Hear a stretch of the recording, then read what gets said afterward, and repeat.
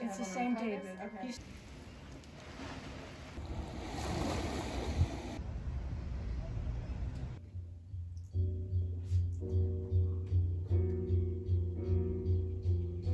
How are you? Yep. Uh,